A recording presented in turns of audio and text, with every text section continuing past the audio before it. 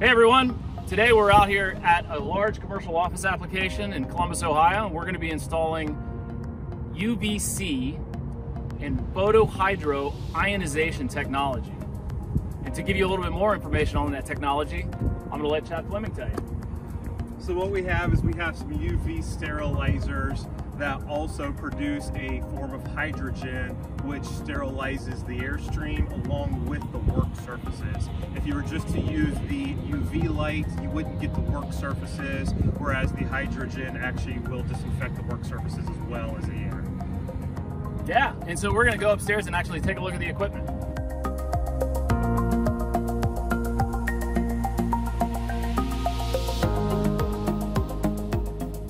Now we're up in the penthouse with one of our eight UVC hydroionization units.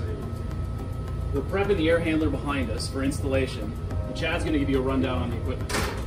So what we have here is that you can see inside these white bars you actually have your UV lights, which them in themselves do do a little bit of sterilization, but what makes these particular units stand out and where the photohydro ionization comes into play is the UV lights interact with these white bars, which produces the hydrogen, which is what then also cleans the uh, surfaces and keeps the uh, air more sanitized than just a normal UV light.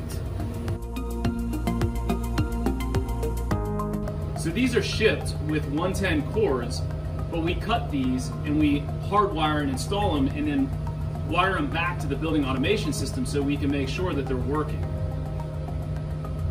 And there they are in action. This technology has been used in medical applications, in food production applications, but it's really just hitting mainstream America for the first time given the COVID-19 situation but it's another a really effective layer of protection in sterilizing indoor air quality and surfaces, work surfaces, shelves, desks, computers, keyboards.